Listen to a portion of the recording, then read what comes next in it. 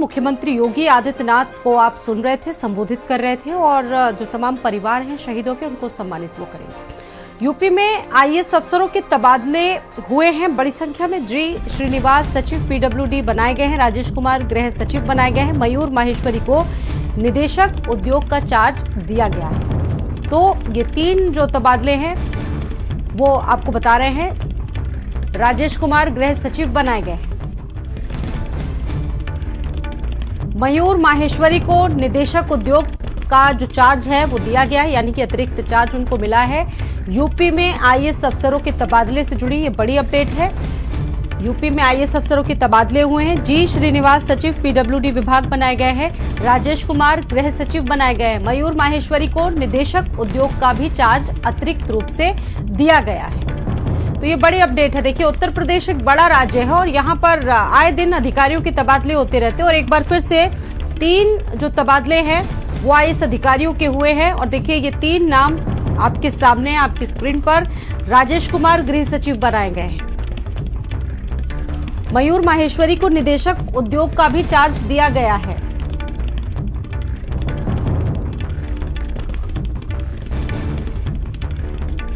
जी श्रीनिवास सचिव पीडब्ल्यूडी बनाए गए हैं। राजेश कुमार गृह सचिव बनाए गए हैं।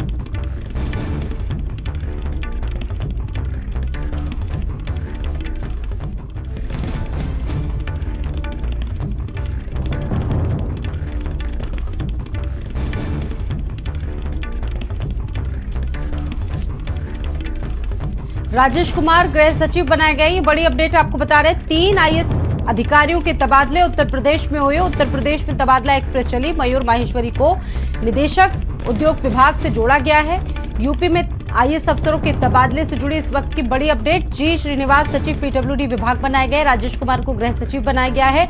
मयूर माहेश्वरी को निदेशक उद्योग का जो चार्ज है, वो दिया गया। यानी कि ये तीन जिम्मेदारियाँ कुछ ऐसे अधिकारी हैं जिनको अतिरिक्त चार्ज दिया गया, अतिरिक्त प्रभार भी दिया गया है विभागों में। तो तीन आईएएस अफसरों के तबादले हुए, बड़ी अपडेट है इस वक्त की। जी श्रीनिवास, सचिव पीडब्ल्यूडी बनाए गए हैं। और, वीरेंद्र सिंह जी, स्टेट हेड, इस खबर पर बातचीत के लिए जुड़ चुके हैं। वीरेंद्र जी, ये तीन तबादले हुए हैं उत्तर प्रदेश में आई एस अफसरों के। आप इसको, इसके पीछे क्या वजह मान रहे हैं? इनको किस तरीके से देखा जाए? देखिए, अभी थोड़े दिन पहले यूपी के जो गृह सचिव थे एवी राजा मौली वो प्रतिनियुक्ति पर आंध्र प्रदेश चले गए हैं। तो गृह सचिव का पद उत्तर प्रदेश में खाली था। तो वहाँ पर राजेश कुमार मीना को गृह सचिव बनाया गया है उत्तर प्रदेश का नया। और वो अभी तक निदेशक उद्योग थे, इंडस्ट्री के डायरेक्टर थे, वो कानपुर में बैठते थे। तो उनका चार्ज अब मयूर महेश्वरी को दे दिया गया है, जो कि यूपी सीडा के एमडी हैं, वो इसका अतिरिक्त चार्ज देखेंगे। इसके अलावा जी श्रीनिवास को पीडब्ल्यू विभाग में सचिव बनाया गया है। वहाँ पर कोई सचिव नहीं था, जिसकी वजह से काम काफ़ी प्रभावित हो रहा था। तो सरकार ने ये छोटे से तबादले किए हैं, क्योंकि गृह सचिव का पद खाली था और उत्तर प्रदेश सरकार में काफ़ी ज़्यादा काम होता है। लिहाजा राजेश मीना को कानपुर से यहाँ पर लाया गया है। जी। जी, बहुत धन्यवाद आपका जुड़ने के लिए, वीरेंद्र सिंह जी, स्टेट हेड राज तो देखिए, उत्तर प्रदेश में तीन आईएएस अफसरों के तबादले से जुड़ी बड़ी अपडेट आपको बता रहे थे और एक और बड़ी खबर आपको बता दें